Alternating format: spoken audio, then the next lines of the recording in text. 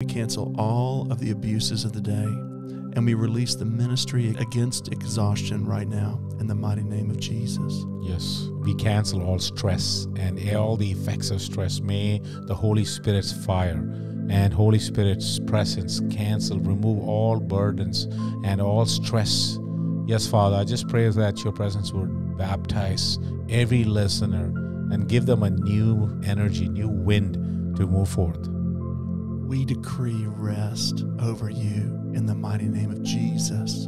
In peace you lie down and sleep. For you alone, Lord, make us dwell in safety. Yes, Lord, for it is from you peace and safety comes. Safety comes from the Lord and no one else, not from our bank accounts, not from our titles, not from our friends, but from you, O God. We trust in thee. Under your wings shall we take refuge, Lord. We trust we commit all those who are listening to this broadcast today, Lord. We commit all those who are listening to these prayers. I just pray for your wings to envelop them, Lord, and they and their children, that all would be under thy canopy, Lord. Psalm 127 2. He grants sleep to those he loves. God loves you, and God grants you sleep. Yes, may He grant sleep to His beloved, and that's supernatural provision, supernatural protection be upon you and yours. May the Lord be blessing you from to everlasting. You have found a place for the Lord, a dwelling for the mighty one of Jacob. Yes. Lord, you will not allow our foot to slip, because you who watches Israel, thy people, will not slumber. He who watches us is always awake, he doesn't sleep.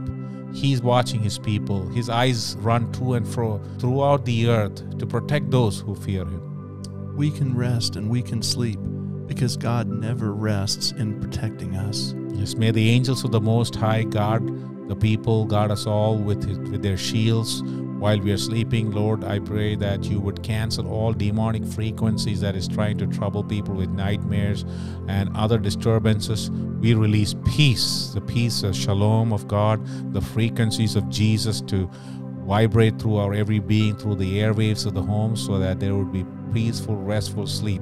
We prohibit any squatters, any trespassers, spirit trespassers from coming into our atmospheres, from our to our sleeps. Let our sleep be sweet, O God. Let it be filled with divine visions, divine bliss, divine uh, ecstasies from Jesus Christ. Amen. Jesus Christ declares, I will give you rest. He gives you his yoke, which is easy because he is gentle and humble in heart. His burden is light. Rest in him. Yes, the Bible says in Psalm 91 Whoever dwells in the shelter of the Most High will rest in the shadow of the Almighty. We, Lord, we thank you that you have loved us first.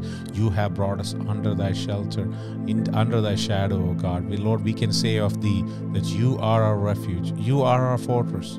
You are our God in whom we will trust. We commit this night to thee, O Lord. A thousand may fall at our side, ten thousand at our right side, right side, but we will not be afraid of these. Most High is your shelter. You rest in His shadow. We will not fear the terror of night, nor the arrow that flies by day.